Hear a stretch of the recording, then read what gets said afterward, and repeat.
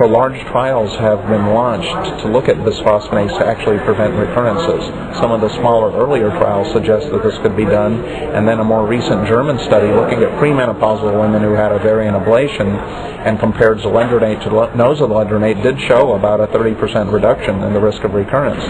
However, at the San Antonio breast cancer meeting last December, a much larger study was presented that it included both pre and postmenopausal women, and again looking at zoledronate versus no therapy, and did not show any difference. And this was a much larger statistically powered study. It did show a, a difference in a uh, small subset analysis of, uh, well, in, a, in, not a small subset analysis, but a, a post hoc subset analysis of postmenopausal women.